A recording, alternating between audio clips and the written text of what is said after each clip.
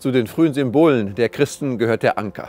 Das ist auch naheliegend, denn viele der ersten christlichen Gemeinden entstanden in Hafenstädten. Paulus, der große Völkerapostel, reiste vor fast 2000 Jahren per Schiff über das Mittelmeer, kannte Stürme und wusste um die Sicherheit, wenn man in einen Hafer vor Anker gehen konnte. Kein Wunder, dass er christliches Symbol für Hoffnung, Zuversicht und Heil ist. Bis heute gilt, der Anker gibt Halt, so wie Hafen Schutz gibt. Dabei steht der Hafen als Ankerplatz allerdings noch für mehr als nur für einen Ort der Sicherheit. Heute sind Häfen mehr denn je Orte von Mobilität, von unzähligen Menschen auf Reisen und von Gütern, die bewegt werden.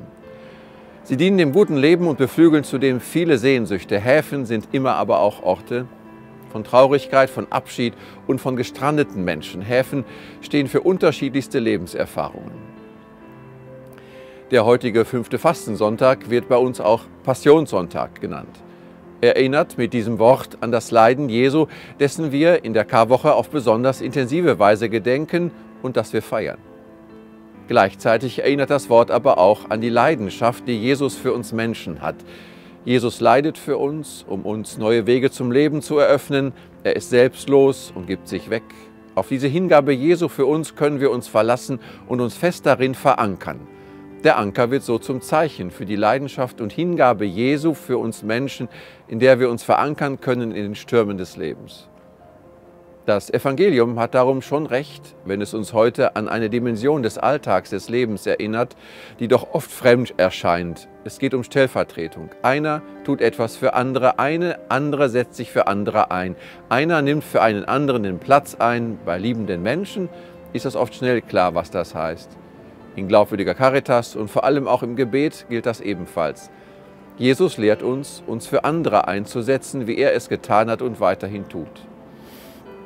Das provozierende Wort im Evangelium lautet heute dazu, wenn das Weizenkorn nicht in die Erde fällt und stirbt, bleibt es allein, wenn es aber stirbt, bringt es reiche Frucht. Was mit einem Bild aus der Landwirtschaft gesagt wird, gilt für uns Menschen. Wer einen festen Anker hat, der hat einen klaren Standpunkt und kann viel für andere tun. Er kann so weit gehen, dass er sich ganz für andere verschenkt. Das ist wie bei der Liebe und erinnert an den Passionssonntag. Sich für andere einzusetzen bedeutet mit ganzer Leidenschaft auch Leiden auf sich zu nehmen. Vor allen Dingen aber heißt es Fruchtbarkeit. Der Preis aber ist nicht gering. Es geht immer um andere, gerade wenn diese mit ihren Tränen und Nöten ihrer Sehnsucht nach Heilung Ausdruck verleihen. Wo das möglich ist, da keimt Hoffnung, da geht nach einer dunklen Nacht die strahlende Sonne am frühen Morgen auf. Und das kann zum Segen werden.